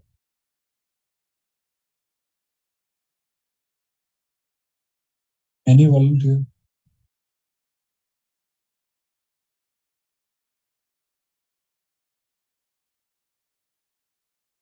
57 नहीं इलेक्शन कमीशन पावर्स नहीं नहीं नहीं दोनों नहीं है। सीसीआई ने यश एक हद तक इलेक्शन कमीशन पावर कह सकते हैं। सीसीआई ने फैसला किया। इलेक्शन कमीशन फ्रेश डिलिमिटेशन करे कॉन्स्टिट्यूंसीज की after the digital based census जो 2023 में हुआ है। तो जिसके बाद इलेक्शन कमीशन चार महीने से फ्रेश डिलिमिटेशन में लगाएगा चौदह दिसंबर को वो एंड होगी।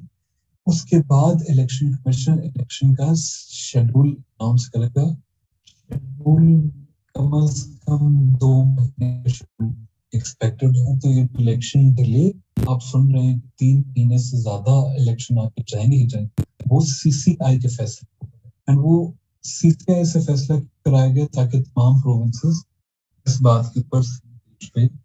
हो। नहीं, खुद वाला नहीं, वो तो एक अमेंडमेंट है ना that is an amendment in election act 2017 उसकी एक शिप को अमेंड किया गया कि election commission of Pakistan unilaterally election announce करेगा। सीसीआई ने कहा है कि election commission of Pakistan 2023 census हुआ है बाद फैसिलिटेशन कराएगा ठीक हो गया तो इधर से हम आगे चलते हैं। फेडरल अब, अब पिछली हमारी फेडरेशन वाली features of federation category end हो गई है। तीन पॉइंट्स उसके अंदर legislation list and provincial disputes हैं अब फेडरल लेजिस्लेचर की हमारी कैटेगरी इसका सबसे पहला है हाउसेस ऑफ़ पार्लियामेंट कि भाई लेजिस्लेचर के अंदर की मेकअप क्या है? तो पार्लियामेंट उसमें यूनिकैमरल है 56 में no upper house 70 is bicameral with senate as principle of parity. मैंने आपको बताया था मोहम्मद अली का फार्मूला के बाद 56 में रखी गई parity between federating units and 73 में there was no principle of parity required क्यों? क्योंकि तमाम प्रोविंसेस को इक्वल रिप्रेजेंटेशन दे दी गई सेनेट में। उसमें senate equal representation principle of parity follow federating units क्या थी? उसमें सिर्फ़ दो थी। ईस्ट पाकिस्तान वेस्ट पाकिस्तान इसमें चार हैं। दस फेडरल कैपिटल टेरिटरी दस जो फेडरल एडमिनिस्ट्रेड ऑटोनमस यूनिट्स हैं। पाटा के एरियाज़ में थे जो कि अब ट्वेंटी फिफ्थ बाद चेंज हो गया। इलेक्टोरल सिस्टम इसके अब ये एक अलग कैटेगरी बन जाती है। फिर इसके अंदर जी members parliament elect under elected under universal franchise इसमें भी अंडर यूनिवर्सल एडल्ट फ्रेंचाइज उसमें एज का फ़र्क 21 साल से ऊपर वोट कर सकते थे साल से ऊपर कर सकते हैं। Electorate system of electorate is not given in constitution, इसमें system of joint electorate है, यानी हिंदू क्रिश्चियन मुस्लिम इनके लिए लहदा लहदा electorate this non non Muslims के लिए सीट्स रिजर्व्ड है रिजर्व्ड सीट्स है। डिस्क्वालिफिकेशन ऑफ़ एमपी उसके अंदर 60 दिन अगर आप एबसेंट हैं तो आप डिस्क्वालिफाइड हैं इसके अंदर स्कोर स्ट्रिक्ट कर दिया गया और 40 दिन। एग्जीक्यूटिव एग्जीक्यूटिव होता है आपका प्रेसिडेंट या पार्लियामेंट इसके अंदर फिर आपकी सब हेडेड बन जाती हैं प्रेसिडेंट की और पार्लियामेंट की presidential powers stronger president in 73 constitution, then in 73 constitution वाला स्ट्रॉन्ग था। मैंने आपको बताया था 73 में Bhutto sahab try to centralise all power in the office of the prime minister. Similarly, जो president था was chief executive था 56 में 73 में वो एक symbolic figurehead बन गया could appoint उसके अंदर ये लिखा हुआ है कि जो भी MNA the president thinks has the confidence of the whole assembly उसको वो प्रेसिडेंट इनवाइट करेगा कि आप आके हुकूमत बना लें जबकि 73 में लिखा हुआ है कि जो भी एमएनए जिसको बाकी एमएनए इलेक्ट करेंगे as the prime minister president ने उससे हेल्प लेना दोनों में फ़र्क है प्रेसिडेंट की पावर्स में। दोनों जगह फ़र्क है। यहाँ वो एक सिंबॉलिक फिगर है सर पीएम की advice was not binding on the president हर मामले में 56 में बट यहाँ जिस मामले की एडवाइस आ गई प्रेसिडेंट या उसको हाँ करके आगे कर सकता है, उसको ना नहीं कर सकता। मिनिस्टर या चुप करके कर। Prime minister PM office speaker 1973 constitution PM office यहाँ टू एग्जीक्यूटिव वहाँ president appointed cabinet members on prime minister की एडवाइस यहाँ प्राइम मिनिस्टर अपने कैबिनेट को डायरेक्टली नोटिफाई करता है डायरेक्टली अपॉइंट्स मेंबर्स ये उसका एक कंपैरिजन है, इसमें और फीचर्स भी आप कंपेयर कर सकते हैं जैसे जब भी आपको कॉन्स्टिट्यूशन अगर आए कॉन्स्टिट्यूशन का कंपैरिजन अगर आए आपके पास तो आप कुछ गिनती के फैक्टर्स हैं कि आपने उनकी, उन कैटेगरीज को लाजमी देखना है। मैं आपके लिए इधर बता देता हूँ।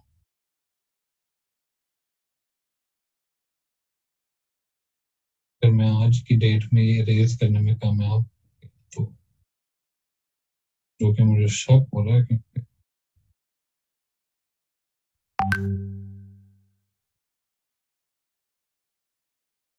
ज़िंदा अभी तक या सारे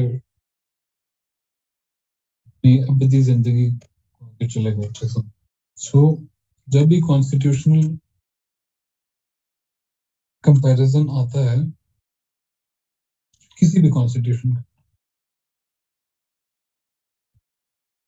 तो आप कुछ पॉइंट्स लिख सकते हैं।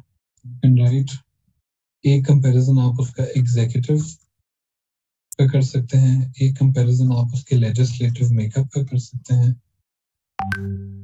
फिर एक कंपैरिजन आप उसके परफॉर्मेंस में मुझे यकीन है कि आप देते हैं मुझे आप, आप अपनी शक्ल अपने इतनी खूबसूरत चेहरा नाम भी देते तो मैं मान जाता है कि आप एग्जीक्यूटिव लेजिस्लेटिव मेकअप ये इसके अलावा और क्या था? को देख के जहन ही हाली हो गया। लेक्चर लेजिस्लेटिव मेकअप फेडरलिज्म या फेडरेशन के ऊपर बात हो सकती है। मैं बेहद शर्म आ रही है आप से। आप उसके अंदर फॉर्म ऑफ़ गवर्नमेंट के ऊपर बात कर सकते हैं प्रेसिडेंशियल और पार्लियामेंट्री योर राइट उसकी जनरल लेंथ टेन्योर के ऊपर बात कर सकते हैं। आप उसके अंदर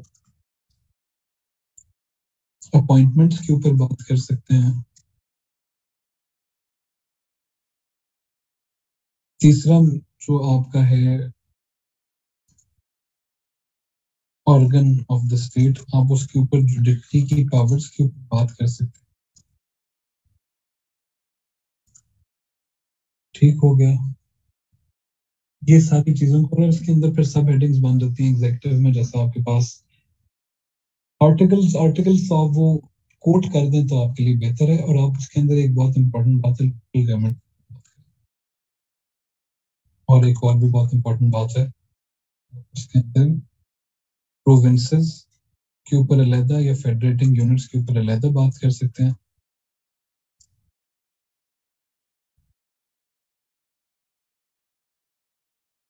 और से भी इम्पोर्टेंट बात, आप उसके ऊपर फंडामेंटल राइट्स की बात कर सकते कि वो कौन से फंडामेंटल राइट्स दिया है कि नहीं, इसके अंदर आपने कंपैरिजन करना एंड ये जब भी आप ये तीनों कॉन्स्टिट्यूशन पढ़ होंगे, आपने अपने जहन में यही ब्रॉड हेडिंग्स रखनी है और इसी के अंदर मटेरियल इकट्ठा करना है और उसको रिप्रेजेंट उस तरह करना है जिस तरह मैंने आपको अपने मॉक में दिखाने की कोशिश की है। ठीक हो गया? सो वी हैव ने कंप्लीट कर लिया। फिर भी इफ़ यू वांट तो मैं आपको एक और जगह से भी ये दिखाता हूँ, ताकि आप ये बड़े आना मारे कि ये नहीं दिखाया गया है, वो नहीं दिखाया गया। Let me show you, then I'll give you उसका link this is how you can compare all constitutions इस तरह के नोट आप अपने पास बना के रख सकते हैं। रिटन है रिटन है रिटन है, इसके ये लेंथ है। आया कि नहीं फॉर्म ऑफ़ गवर्नमेंट क्या थी फेडरल सिस्टम लेजिस्लेचर क्या था चेक्स एंड बैलेंसेस थे कि नहीं थे नेम ऑफ़ कंट्री को principles of policy directive of policy बीच में थे फंडामेंटल राइट्स की क्या सूरत है और इस्लामिक क्या हैं? ये भी आप इसके अंदर इन हेडिंग्स को यूज़ करके डाटा डाल सकते हैं। हेडिंग्स में आपको दे रहा हूँ। ठीक हो गया उससे ये तो सुरक्षा होता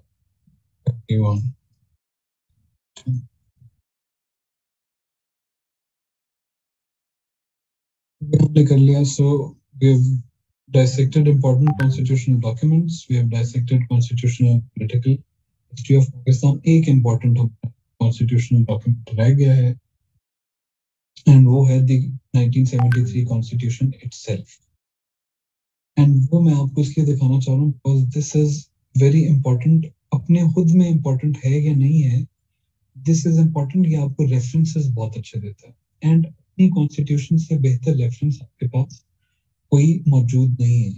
एंड इसकी एक साइंस है। वो मैं साइंस आपको हल्की से समझा दूँ, ताकि आप कॉन्स्टिट्यूशन पढ़ने की ज़रूरत नहीं है, आप चुप करके उसको देखें। सबसे पहले ये चीज़ देखें। ये है amendment to article two A के तहत जो बाद में डाला गया objective resolution is now part of substantive provision तो ये जब ऑब्जेक्टिव रेजोल्यूशन पे सवाल है आप कर सकते हैं। सिमिलरली जो स्टार्ट वाले इसके चैप्टर्स हैं your constitution is divided into chapters सबसे पहला चैप्टर है फंडामेंटल राइट्स चैप्टर वन दूसरा चैप्टर है प्रिंसिपल्स ऑफ़ पॉलिसी जो बाइंडिंग नहीं होते किसी भी हुकूमत पे, लेकिन वो की पॉलिसी को डायरेक्ट करते फिर फेडरेशन के ऊपर बात होती है जिसमें प्रेसिडेंट है पार्लियामेंट है,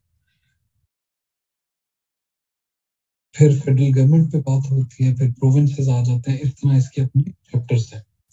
आपके लिए सबसे इंपॉर्टेंट चैप्टर ये है, जो मैं दिखाना फंडामेंटल राइट्स का। Because whenever you writing it, be it in the essay, be it Pakistan affairs और करंट अफेयर्स जहाँ आपके सवाल दे सकते हैं तो you need to quote these as well for example अगर आपके पास एजुकेशन के ऊपर बात हो रही है तो आप राइट टू एजुकेशन आर्टिकल 25 को कोट कर सकते हैं कि article 25 of the constitution of Pakistan says that all children up till the age of 16 have the right to compulsory free education similarly अगर रूल ऑफ़ लॉ पे बात हो रही है तो safeguard to arrest and detention article 10 and article 10 A right to fair trial जो कि आजकल आप बहुत ज़्यादा सुन रहे होंगे, टेन का ज़िक्र, कि इमरान साहब के वकील बहुत ज़्यादा इसका ज़िक्र कर रहे हैं। Article 11 is also important slavery force labour prohibition चलें, ठीक है इंपॉर्टेंट कह सकते हैं इसको भी। दीज आर ये चार इंपॉर्टेंट हैं। इसको बैट्स इसका नमानक है। M for movement A for assembly A for association T and S इस तरह आप इनको मैट्स करके याद कर सकते हैं। 19 is very important freedom of speech right to information 19 A फिर इसके बाद प्रिंसिपल्स ऑफ़ पॉलिसी में आ जाए। Mats movement A assembly A association T trade S speech और अगर आप बहुत ज़्यादा कोई पापी होना चाह रहे हैं तो मैट सी कर दें। आई से इंफॉर्मेशन डाल दें। फ्रीडम टू प्रोफेस रिलीजन जब भी आप माइनॉरिटीज की बात करें तो आर्टिकल ट्वेंटी का वाला लाजमी दें। एंड इफ़ यू वांट फिर इस तरह से आप इसको छोड़ के प्रिंसिपल्स ऑफ़ पॉलिसी में से भी दो तीन बड़े इंपॉर्टेंट अपने जहन में रख लें। सबसे, ये आर्टिकल 40 मैंने आपको पढ़ाया है foreign policy of Pakistan Pakistan में। Strengthening bonds with Muslim promoting international peace similarly इसके अंदर promotion of social justice protection of minorities में आर्टिकल 36 और आर्टिकल 20 लगते हैं। And this is very important article 32 promotion of local government institution जब government आएगा, तभी पढ़ाऊँगा article 32 and article 140 A of the constitution आपने हर सूरत में रेफरेंस करना है अपने सवाल में। तो कॉन्स्टिट्यूशन ऑफ़ पाकिस्तान के साथ एक अच्छी ग्रिप आपको आपकी रेफरेंसिंग के अंदर भी बहुत हेल्प करेगी। इसलिए मैंने आपको ये भी दिखा दिया। इसका भी let me share the link with you ताकि आप लोग इसको देख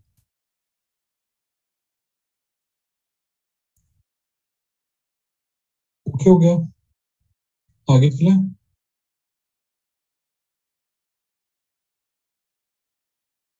ठीक है डन था।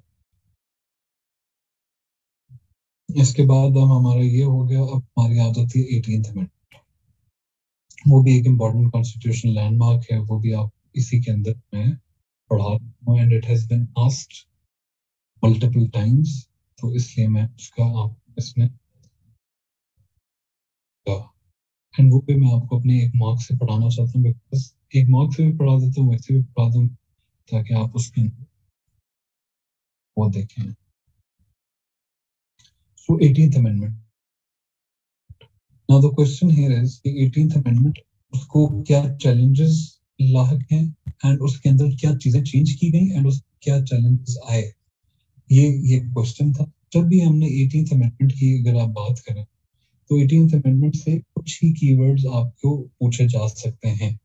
उन कीवर्ड्स में एक है कि भाई वो आपसे कहते हैं एटीन अमेंडमेंट एक मॉन्यूमेंटल डॉक्यूमेंट था, उसमें हुआ क्या क्या या वो आपसे कह सकता है कि एटीन अमेंडमेंट के अंदर को क्या चैलेंजेस ला रखे हैं, या वो आपसे आपके क्रिटिकल एटीन अमेंडमेंट की सक्सेस पे या फेलियर के ऊपर ये दो चीज़ों and I know this is a difficult lecture this is a taxing lecture क्योंकि हम कॉन्स्टिट्यूशंस की बात कर रहे हैं ऊपरली डिफरेंट डिफरेंट चीज़ों को छेड़ तो मैं कोशिश करूँगा कि some part of this lecture हम कल के ऊपर ले हैं या अगले लेक्चर के ऊपर ले जाएँ, क्योंकि अगला lecture is also related it is also related to the politics of Pakistan तो वो भी उसमें सारी बातें हो सकते हैं। तो इफ़ यू वांट तो मैं अभी 18th अमेंडमेंट आपको आज ही पढ़ा देता इफ़ यू वांट मैं इसको कल पे भी शिफ्ट कर सकता हूँ। मैं अभी आगे इसको मुकम्मल कर देता एंड कल फिर हम इसके बाकी रिमेनिंग पार्ट ऑफ़ द आज ही पढ़ा।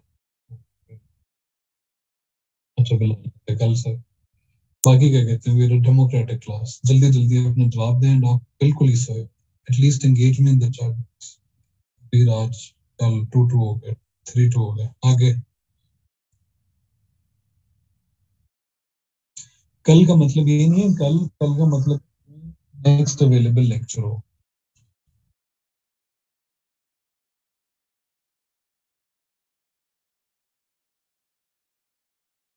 ओके चलो फिर हम एटीन अमेंडमेंट को आगे शिफ्ट कर देते हैं क्योंकि मेजोरिटी कह रहे हैं कल। एंड एटीन इज़ इम्पोर्टेंट तो एटीन को हम थोड़ा सा आगे जाते हैं। ठीक है। नहीं, अब, हम, अब इसको ना, हम इसको अगले लेक्चर के कल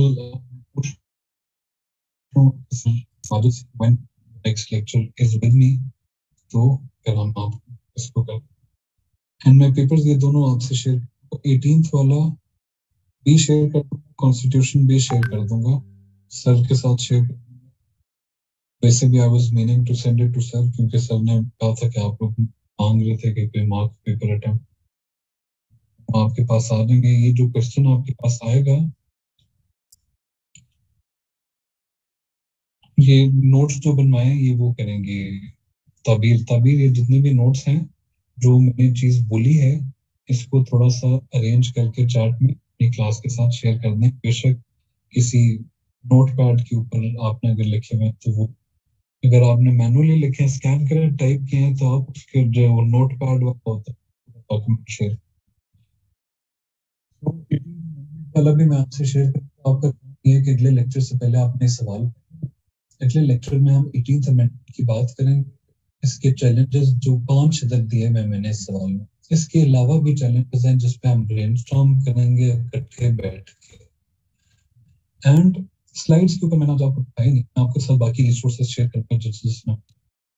एंड इसके अंदर आप पे चल आपने ये और चैलेंजेस सोचते हैं, फिर हम एनएफसी अवार्ड भी इसके साथ पढ़ेंगे बिकॉज़ अब मैं इस रिस्क पे नहीं छोड़ सकता कि आप एनएफसी रिवॉर्ड जो है उसको खुद से पढ़ें। एनएफसी अवार्ड को खुद इसके साथ पढ़कर उसी के साथ हम सेंट्रल प्रोविंस रिलेशंस को डवटेल करेंगे। सेंट्रल प्रोविंस रिलेशंस को डवटेल करने के बाद उसके अंदर वाटर शेयरिंग का भी जो डिस्प्यूट है प्रोविंसेस के, आपस के जो रिलेशन हैं, उनको भी हम उसके अंदर देखेंगे। एंड फिर प्रेसिडेंशियल पार्लियामेंट्री सिस्टम का एक कंपैरिजन देखेंगे। ये सारी चीज़ें हमारे इस अगले लेक्चर के अंदर जाएँगी क्योंकि हमारा अगला लेक्चर इससे मिलता जुलता है। It is political stability political polarization, presidential parliamentary system and constitution के साथ डिटेल करके हम दो लेक्चर्स में जितने भी पॉलिटिकल रिलेटेड एस्पेक्ट हैं उनको खत्म कर लेंगे। ये इन लेक्चर्स की स्लाइड्स बनाना या उसमें इन सारी चीज़ों को कवर करना इसलिए मुश्किल है कि इसकी मुख्तलिफ़ डायमेंशन मांगते हैं जिसका बैकग्राउंड मैं आपको वैसे दे सकता हूँ। स्लाइड्स के अंदर इस थॉट को कंपार्टमेंटलाइज करना it is not a very effective way of going ahead with it बाकी जिन चीज़ों की स्लाइड्स मुझे लगता है कि आपको ज़रूरत होगी या जिनकी बननी चाहिए वो मैं साथ साथ बना के आपको देता रहूँगा। जैसे अब आगे हम एनर्जी या इकोनॉमी में जाएँगे तो उन चीज़ों पर स्लाइड्स मुझे लग रहा है कि बनानी उन उसमें मैंने आपको मैप्स और ग्राफ्स और ये चीज़ें दिखानी होंगी। तो वो उनकी स्लाइड्स दी जाएँगी So that is all for today. In the next lecture, we'll pick it up. So, LFOs and PD system. Legal framework order है legal framework order and PCO provisional constitution order ये दो orders हैं जिनको एक doctrine है and अगले lecture के अंदर हमने एक जुडिशरी के केसेस को भी जल्दी बल्कि ऐसा करते हैं के केसेस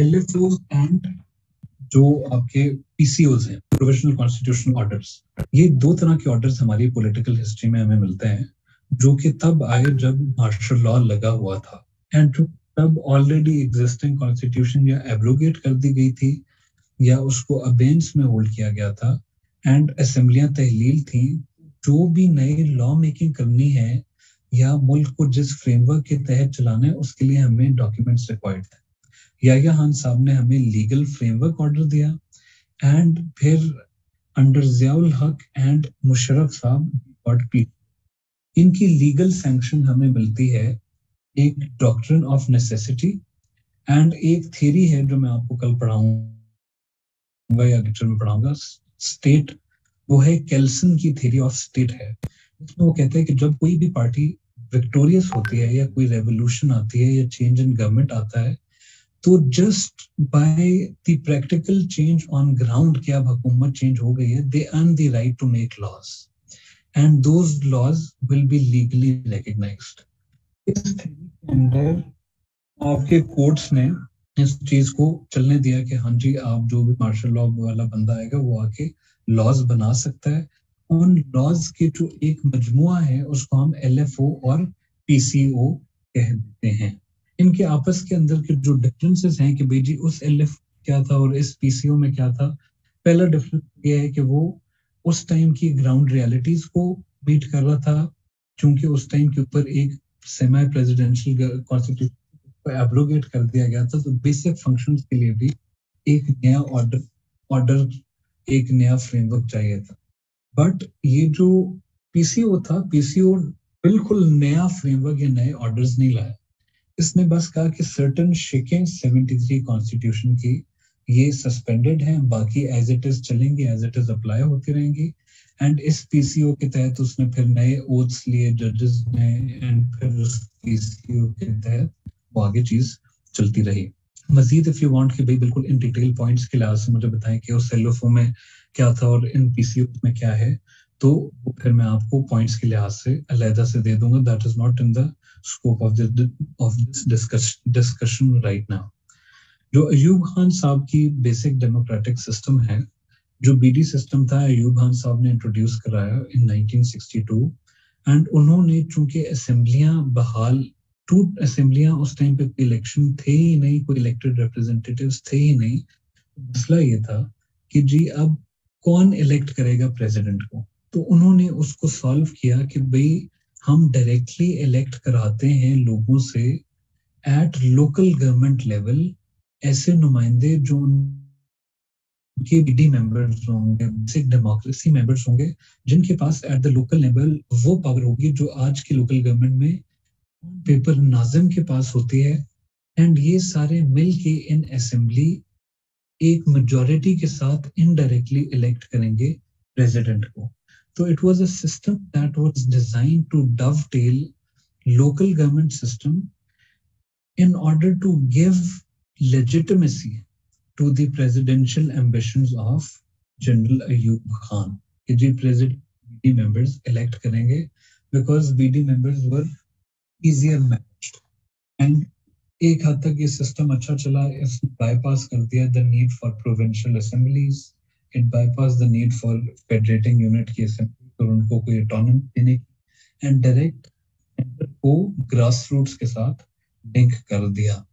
बट देन फिर it ultimately did not last तो ये, this was our lecture for today. I will share the resources. And in the next lecture we will complete it this lecture on its own merit does not stand ये दो lectures का मजमुआ and that is how it has been planned क्योंकि दोनों के अंदर politics and democracy and constitution so by the end of the, next lecture hope कि you on constitutional and political history of Pakistan and Pakistan में कौन सा system अच्छा है कॉन्स्टिट्यूशन के साथ क्या इश्यूज़ हैं क्या चैलेंजेस हैं क्या क्या बीच में लैंडमार्क चीज़ें हुई strong and uh, Naka we will meet again when the next lecture comes around.